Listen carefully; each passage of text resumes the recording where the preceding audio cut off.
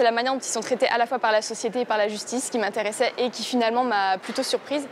On va dire que déjà par la justice, je m'attendais effectivement à ce qui est un faible nombre de plaintes, ce qui est le cas malheureusement. Dans les archives, c'est ce qu'on trouve, enfin ce qu'on ne trouve pas justement.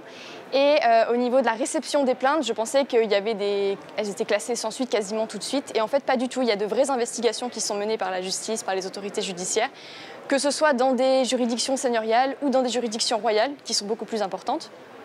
Et euh, donc elles sont traitées de bout en bout, on écoute la victime, on va après interroger des témoins, éventuellement trouver l'accusé si on considère que les, accusations contre lui sont suffisamment graves et ont l'air d'être authentiques.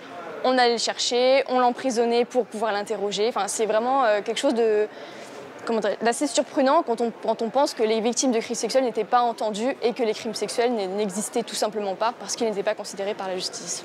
Je dirais euh, qu'il y a encore une certaine confusion relative entre justice et police. en tout cas, dans mes archives, on a l'impression parce que j'ai en même temps que le côté de la justice, c'est-à-dire que j'ai des archives judiciaires, les archives du procès, donc euh, que du papier. On voit que c'est un magistrat instructeur, un juge qui est, choisi parmi un collège de juges pour, euh, mener l'enquête.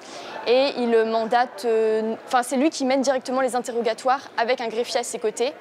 Et éventuellement, dans le cas où c'est un curé qui est accusé, avec un, enfin, avec un juge et éventuellement un greffier ecclésiastique.